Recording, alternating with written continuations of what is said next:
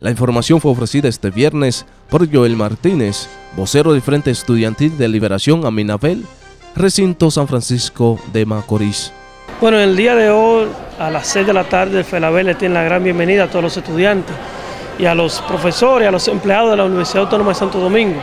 En el día de hoy estaré en Tarima, aquí en la universidad, pero en la caja de sorpresa, el maestro Henry Hierro, Willy Hierro y para cerrar la noche, el musicólogo. Esta fiesta bienvenida que el FELABEL hace año tras año y que tanto la universidad como otros sectores estamos involucrados en esta gran fiesta bienvenida y queremos invitarles a los estudiantes, a los profesores, a los empleados que a las 6 de la tarde vengan a disfrutar junto con nosotros esta gran fiesta de bienvenida